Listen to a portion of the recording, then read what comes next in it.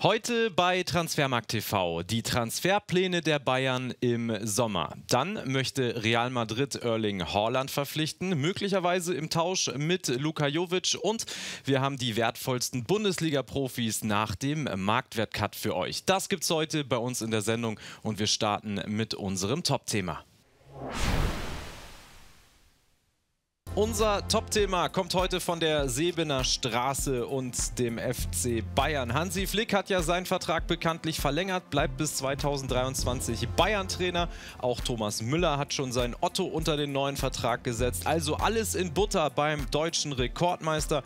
Und auch zwischen Hassan Salihamidzic und Hansi Flick soll es nach einer entsprechenden Aussprache keine Differenzen mehr geben. Und sie sind zu einem klaren Ergebnis gekommen.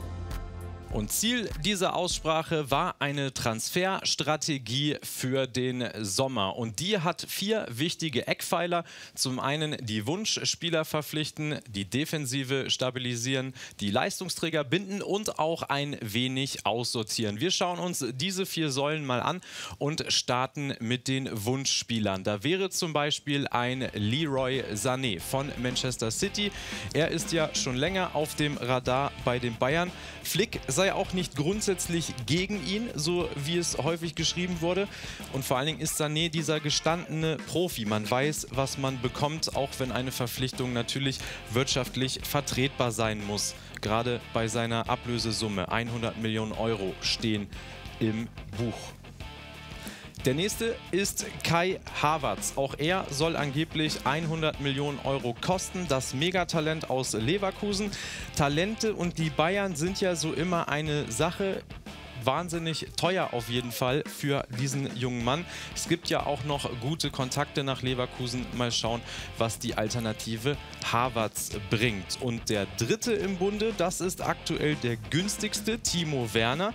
Denn durch eine Klausel im Vertrag würde er nur 60 Millionen Euro Ablöse kosten. Er passt wohl am besten auch in Flicks Pläne, da er gerne einen zweiten Stürmer neben Robert Lewandowski haben möchte. Wir haben euch gefragt, wer passt denn am besten zu den Bayern und wen sollten sie holen? 48 Prozent, also knapp die Hälfte, sprechen sich für Leroy Sané aus. Timo Werner dagegen nur bei 19 Prozent und Kai Havertz kommt immerhin auf ein Drittel aller Stimmen. Also das die aktuelle Tendenz, wen der FC Bayern holen möchte. Alle drei Spieler passen natürlich hervorragend zum FC Bayern München. Laut Sportbild möchte man aber aufgrund der aktuellen Situation nur einen der drei verpflichten. Auch die finanzielle Seite spielt da natürlich eine Rolle und ihr könnt abstimmen, wen soll der FC Bayern München holen. Könnt das einfach unter diesem Video hier machen mit dem Buchstaben A beispielsweise in den Kommentaren. Stimmt ihr für Leroy Sané, mit B für Kai Havertz und mit C für Timo Werner. Und und wenn ihr mögt, dann schreibt doch einfach eure Begründung dahinter, warum der FC Bayern euren Spieler holen möchte. Wir machen weiter mit der nächsten Säule und das ist die Stabilisierung der Defensive. Es ist aktuell gesucht ein Rechtsverteidiger, ein Innenverteidiger und auch ein linker Außenverteidiger, um ein bisschen mehr Breite in den Kader zu bekommen. Topgerücht aktuell und auch schon seit einigen Wochen, das ist ein junger Mann von Ajax Amsterdam aus der niederländischen Eredivisie, Serginho Dest. Er hat sich einen Stammplatz erspielt auf der rechten Abwehrseite, hat Masraui verdrängt, der ja lange Zeit dort gesetzt galt, auch in der Champions League stark äh, gespielt hat. Er hat auch schon fünf Vorlagen in der Eredivisie gegeben dieses Jahr. Wirklich schnell und auch technisch stark und vor allen Dingen ein Riesenpotenzial, denn der Mann ist erst 19 Jahre alt. Das Binden von Leistungsträgern eine weitere Säule, auf die die Transferstrategie des FC Bayern aufbaut. Thomas Müller hat ja bereits verlängert und jetzt sollen weitere wichtige Stammspieler einen neuen Vertrag unterzeichnen. Zum Beispiel Manuel Neuer. Da hakten die Gespräche angeblich aufgrund der Vertragslaufzeit. Auch über ein mögliches Interesse vom FC Chelsea wurde da spekuliert. Der nächste ist David Alaba, der sich hervorragend hervorragend präsentiert hat in der Innenverteidigung in diesem Jahr. Hat ja seinen Berater gewechselt, wird nun beteuert von äh, Pinas Zahavi. Real Madrid und Barcelona angeblich die Interessenten des Österreichers. Und der dritte im Bunde ist der Spielmacher Thiago. Da stehen die Zeichen wohl auf Verlängerung. Er steht wohl kurz vor einer Unterschrift bis 2023. Also dann hätte man auch den Spielmacher auf der 6 an sich gebunden. Auf der anderen Seite möchte man auch ein wenig aussortieren. Und zwar sollen diese drei Herren hier den Verein verlassen. Zum einen Jerome Boateng, aktuell ja gesetzt neben Alaba, aber es wird immer wieder über einen Abgang spekuliert. Angeblich sollen Chelsea und Arsenal interessiert sein. Coco Tolisso, der nächste. An ihm ist angeblich Inter Mailand dran und wohl auch laut Daily Mirror Arsenal und Manchester United. Der zentrale Mittelfeldspieler, der sich nie richtig durchsetzen konnte bei den Bayern. Und Nummer drei, Javi Martinez. Da gibt es aktuell Gerüchte um eine Rückkehr nach Bilbao. Und angeblich ist auch der FC Getafe an seinen defensiven Qualitäten interessiert. Diese drei Herren also auf der Streichliste des FC Bayern München. Und dann haben wir ja noch einen weiteren Spieler, über den wir jetzt gar nicht en Detail gesprochen haben. Felipe Coutinho, aktuell ja ausgeliehen vom FC Barcelona. Man kann ihn fest verpflichten, allerdings ist die Tendenz wohl gegen eine Verpflichtung aktuell bei den Bayern. Also Coutinho sozusagen auch noch ein Baustein in diesem Kaderplanspiel. Wir haben euch gefragt oder ihr seid natürlich gefragt, passt das so beim FC Bayern oder sollte man weitere Verträge verlängern, zum Beispiel auch mit diesen drei Jungs hier? Und ihr habt euch geäußert und unser User hat eine interessante Meinung dazu gehabt. Das ist Diego 04. Er hat gesagt, wenn man kein Geld hat für die Transfers, kann man doch ruhigen Gewissens mit Boateng oder Martinez als Backup verlängern. Einen Mai gibt es auch noch und ansonsten gäbe es als Backup sicher auch billigere als einen Upamecano. Also Diego 04 plädiert für eine Verlängerung von Boateng und Martinez. Was meint ihr dazu? Sollte man auch mit diesen verlängern oder passt die Streichliste? Lasst es uns gerne wissen. Wir sind in der Gerüchteküche und der Mann hier hinter mir, Edinson Cavani, spielt seit 2013 bei Paris Saint-Germain und hat seitdem 200 Tore geschossen.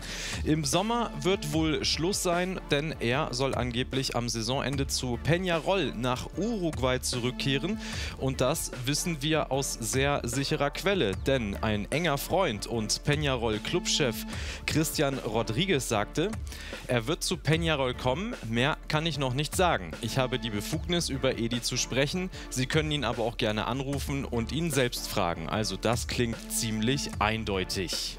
Ein weiteres Indiz für einen Cavani-Abgang ist die mögliche feste Verpflichtung von Mauro Icardi. Denn laut der Corriere dello Sport möchte Paris Saint-Germain gerne die Kaufoption ziehen. Die Ablöse liegt dann wohl bei 70 Millionen Euro. Icardi ist ja gerade ausgeliehen nach Paris. Der BVB bereitet sich weiterhin auf einen möglichen Abgang von Jaden Sancho vor und sie hatten schon mal einen Spieler auf dem Zettel, den sie jetzt wieder rausgekramt haben und das ist Everton von Gremio Porto Alegre. Der BVB möchte unbedingt in die Pole Position und den Offensivspieler verpflichten. Er hat zwar erst bis 2023 in Brasilien verlängert mit einer Ausstiegsklausel in Höhe von 120 Millionen Euro, doch Gremio muss aufgrund der Corona-Krise wahrscheinlich ein bisschen haushalten und da könnte man schon ein wenig runtergehen von dieser Summe. Lautaro Martinez begeistert nicht nur Barcelona, sondern auch die Königlichen. Laut der Maße hat sich jetzt aber auch Erling Haaland ins Herz von Realpräsident Florentino Perez gespielt. Er schwärmt vom jungen Norweger, der beeindruckend in Dortmund eingeschlagen ist. Also Martinez nun nicht mehr die Nummer 1, sondern Haaland bei Florentino Perez. Die Idee, ein Spielertausch mit dem BVB. Haaland nach Madrid und die Dortmunder bekommen dann Luka Jovic, der nicht mehr der Alte zu sein scheint aus der Frankfurter Büffelherde, kam ja erst im Sommer 2019, spielt seitdem nicht wirklich eine Rolle. Der FC Chelsea möchte gerne Antonio Rüdiger langfristig an den Verein binden. Laut Sky Sports möchte der Club demnächst die Gespräche suchen. Sein Vertrag läuft zwar noch bis 2022, allerdings gebe es wohl großes Interesse aus Deutschland, namentlich vom FC Bayern und auch vom BVB. Rüdiger seit 2017 bei Chelsea kam damals von der AS Rom. Koray Günther ist aktuell vom FC Genua an Hellas Verona ausgeliehen und bereits im nächsten Jahr könnte er schon wieder das Trikot wechseln. Laut ABCD Sevilla gibt es Interesse vom dort ansässigen FC und wohl auch von Bayer Leverkusen. Günther kommt ja aus der BVB-Jugend, hat ein Bundesligaspiel für die Dortmunder bestritten. Diese Saison gibt es schon 22 Einsätze in der Serie A für ihn. Sein Marktwert liegt bei zweieinhalb Millionen Euro kommt es zur Reunion von Douglas Costa und Pep Guardiola, denn angeblich möchte der Coach seinen ehemaligen Außenstürmer nach Manchester locken. Beide kennen sich ja bestens aus Guardiolas dritter Bayern-Saison, als sie zusammen das Double holten 2016. Seine Stats unter Pep gar nicht so schlecht. 43 Spiele, 7 Tore und 18 Vorlagen. Mögliches Tauschobjekt für City oder für Juve besser gesagt wäre Gabriel Jesus. Wohin verschlägt es David Silva? Fest steht, er wird Man City im Sommer verlassen und lange galt ja ein Wechsel zu David Beckhams Inter Miami als erste Adresse. Calcio Mercato berichtet nun, dass der AC Mailand ein Auge auf den erfahrenen Spanier geworfen hat. Bleiben wir mal gespannt. Diego Carlos vom FC Sevilla kam erst im Sommer aus Nantes und schlug gleich einmal voll ein. 25 von 27 möglichen Spiele in La Liga absolvierte der Innenverteidiger und überzeugte so sehr, dass Jürgen Klopp und der FC Liverpool wohl ein Auge auf ihn geworfen haben. Kloppo braucht ja auch immer noch eine Alternative für Dejan Lovren. In unserem heutigen Newsticker schauen wir nach Berlin, denn nach einem Bericht der Bild und des Kickers wird Bruno Labbadia mit sofortiger Wirkung Trainer von Hertha BSC und soll demnach auch Alexander Nuri bereits in dieser Saison ablösen. Lediglich die Unterschrift fehlt noch und vor allen Dingen soll der Vertrag bis 2022 laufen, also gleich mal ein Zwei-Jahres-Vertrag.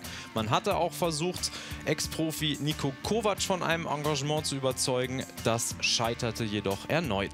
Vor ein paar Tagen hatten wir ihn noch in der Gerüchteküche. Nun können wir einen Haken dran machen. Bayer Leverkusen verpflichtet Lennart Grill vom 1. FC Kaiserslautern. Der 21-Jährige erhält bei der Werkself einen Vertrag bis 2024. Ablöse laut der Bild rund 2 Millionen Euro. Der Transfer von Alexander Nübel zum FC Bayern steht ja auch bereits fest. Der Noch-Schalker hat sich jetzt aber nun aufgrund der Corona-Krise bereit erklärt, im Falle einer Saisonausdehnung auch länger auf Schalke zu bleiben. Geklärt werden müsste dann aber die Gehaltsfrage, denn bei den Bayern würde er ab 1. Juli deutlich mehr verdienen als auf Schalke. Und auch Real Madrid wird das Gehalt ihrer Profis um 10% kürzen. Darauf haben sich Mannschaft und auch die Vereinsführung geeinigt. Von dem eingesparten Geld sollen die finanziellen Einbußen der zahlreichen anderen Mitarbeiter des Vereins gemildert werden. Und zu diesen Profis zählen unter anderem auch die Mannschaft der Basketballer.